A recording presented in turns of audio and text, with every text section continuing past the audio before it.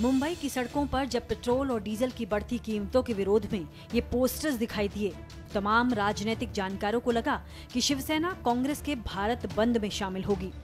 लेकिन सोमवार को जब कांग्रेस समेत 21 राजनीतिक दलों के कार्यकर्ता सड़कों पर थे, तब शिवसेना के कार्यकर्ताओं ने इस भारत बंद से दूरी बनाई थी। पिछले काफ़ी समय से बीजेपी और शिवसेना के संबंधों में खटास खास तौर पर महसूस की जा सकती है। शिवसेना तकरीबन हर विषय पर बीजेपी का विरोध करती रही है। और इसी वजह से माना जा रहा था कि शिवसेना बीजेपी सरकार के विरोध में भारत बंद को सफल बनाएगी। लेकिन ऐसा हुआ नहीं। शिवसेना के भारत बंद में शामिल होने से रोकने के पीछे बीजेपी अध्यक्ष अमित शाह का एक फ़ोन कॉल बताया जा रहा है।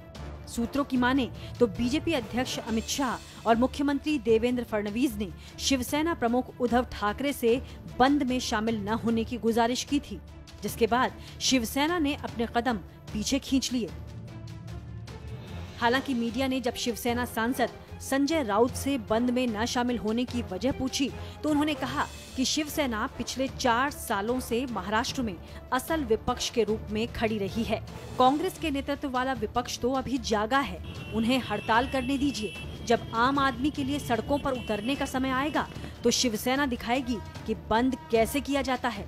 शिवसेना महाराष्ट्र में असल बंद सम्राट है। Video desk Amar Ujala TV Mumbai